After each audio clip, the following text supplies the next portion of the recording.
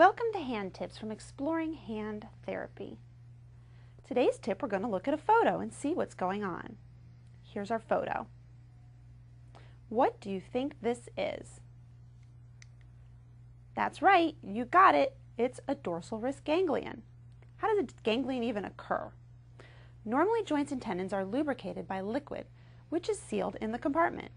Sometimes, because of arthritis, injury, or just because, a leak occurs from the compartment, causing a ganglion cyst. It works almost like a one-way valve, filling up a little balloon next to the area of the leak. When we use our hands for normal activities, our joints squeeze and create pressure in the compartment. This can pump up a balloon leak with so much pressure that it feels like a hard bone.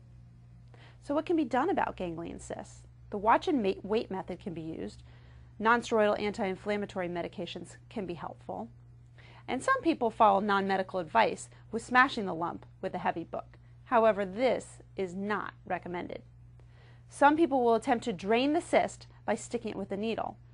This is also something you should not try at home. It can lead to serious infection.